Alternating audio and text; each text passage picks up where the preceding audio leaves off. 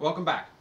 Today we're going to be talking about reading paperwork, specifically lighting paperwork, as it relates to a prep, a hang, and a focus.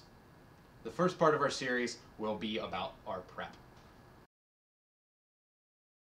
Okay, we're going to talk about prepping a show. Now before we get too in depth with that, I want to explain or try and hopefully simplify a little element of lighting in the theater for you.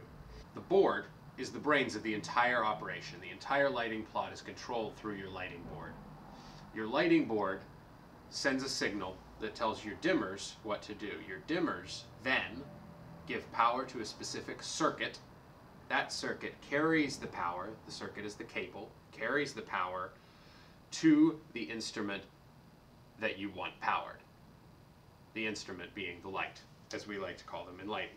The instrument schedule is one of the most important pieces of information, pieces of paperwork that you're going to have when you prep a show. Also, a handy thing to have is a circuiting plot. So for our example, this circuiting plot is a picture, a bird's eye view of the entire plot, the entire show, as it comes to lighting. For our example, let's look at FOH number three. FOH number three at the back of the house has one, two, three, four units on it. Just below each unit is a number in a circle. That is our channel number.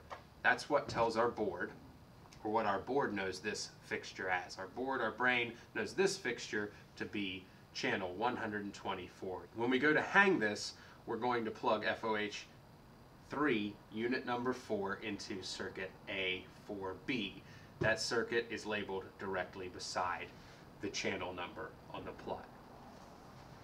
That's a general overview of what's happening here. For prep purposes, what we're going to do is we're going to take our instrument schedule, we're going to look at the position, our example being FOH3, that we want to prep. We will pull all of the units out for that, so four units like we talked about before are 19 degree source fours. We'll pull one, two, three, four of them. We will prep all of those in a line with all of the pieces that they need. That way everything's organized by position and all we need to do when we go to put um, a ladder under that position or a genie, we know where those units are and exactly what they go to and we know that they have all of the things that they need beforehand.